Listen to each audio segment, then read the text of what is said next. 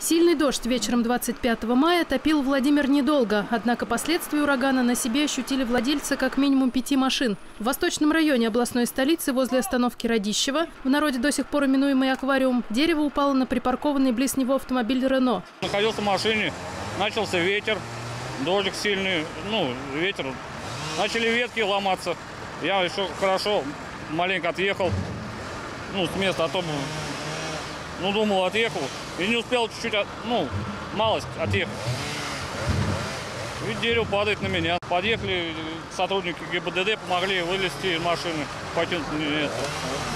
Вот только по- поранился и все, хоть не зажало, слава богу.